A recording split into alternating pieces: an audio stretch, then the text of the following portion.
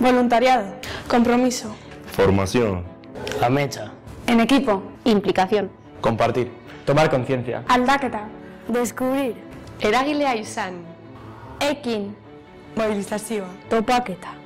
Iparra eta egoa. Alboan.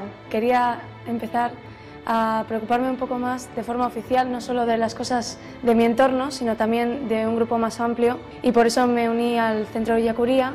Etorkinekin lan egiten dugu, eta adibidez aurreritzen kontra borrokatzen dugu. Estoy metida al Baque Choco, que es mm, como una campaña voluntaria que hay en el colegio, que nos reunimos cada dos semanas los jueves y viene alguien de Alboan y trabajamos los derechos de, de todo el mundo. Esku momentutik jasogu alboanen eskutik formakuntza bat, gehien bat jakiteko ipar eta hegoaldeko diferentziak da nola gu bizi gainen, gaien, bizi gaien moduenez, da hegoaldien bat gauza dauela diferente eta kontzientzia bai apur bat horren aldetik.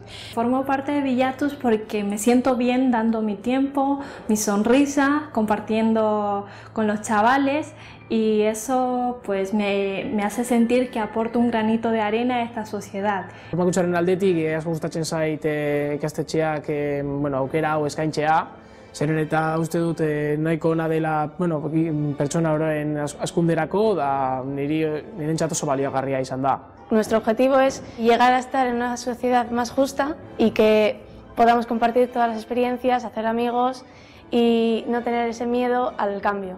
Para mí ser voluntaria y estar metida al Baque Choco es aportar mi granito para cambiar el mundo. Bolondesa izatea nirentzat, be, ere, o sea, ia derrigorrezkoa da hori bezalako ikastetxe batean, ez da? Esperientzia moduen pues, que, larrona, eh, aberrurren urtien jarraitzeko aukeri edeko dan, da ba hori, animeti edanei eta benetan esperientzia moduen ikusgarri izen dela.